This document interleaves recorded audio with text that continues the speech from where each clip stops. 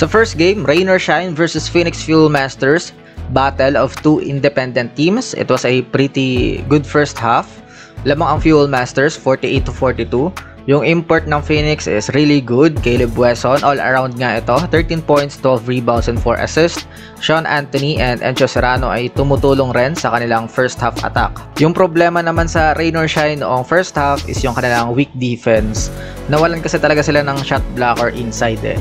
Ever since na-trade si Almasan, wala na yung mag-aabang sa second line.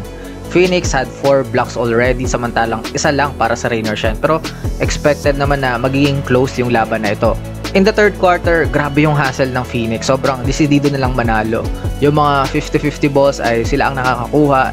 Of course, meron silang Sean Anthony na nahahawa ang lahat. Ang ganda ng ball movement, walang superstar ngayon. Meron na silang 20 assists compared to only 12 ng Rain or Shine.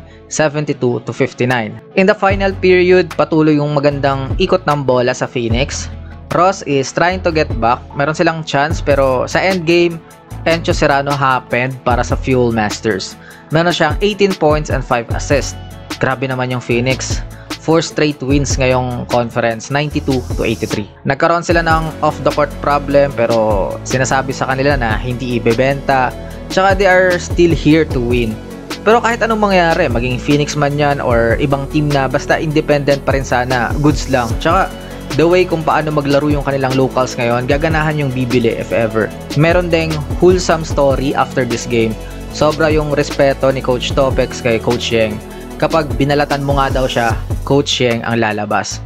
Coach Topex said na he loves Coach Yeng to death.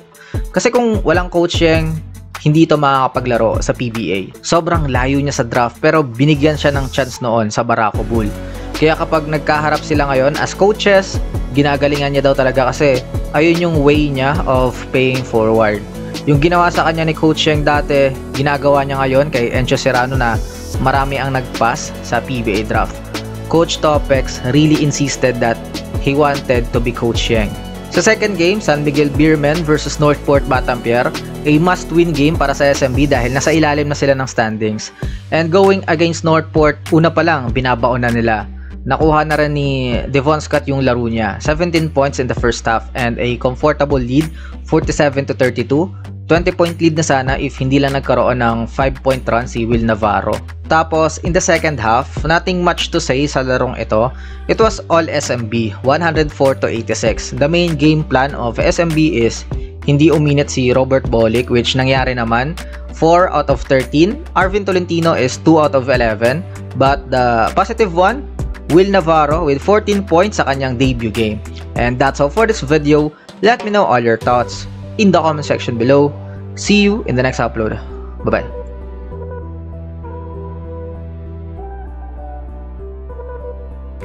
Dahil tingin kong mananalo ang Hinebra kontra Bay Area, yun nga, malaking adjustment for them kasi iba yung import na maglalaro.